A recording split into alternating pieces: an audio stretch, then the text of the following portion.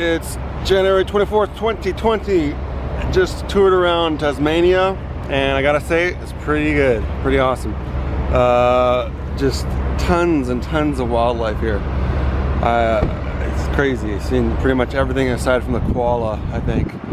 You'll see it here in Tasmania. Um, the I finally saw the wombat too, which is really exciting, and tons of them just all over the place in Maria Island. So that was pretty sweet.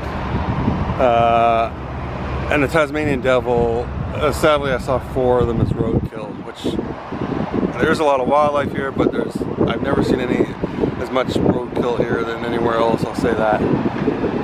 Uh, but yeah, it's a pretty good place to cycle, I think, Tasmania.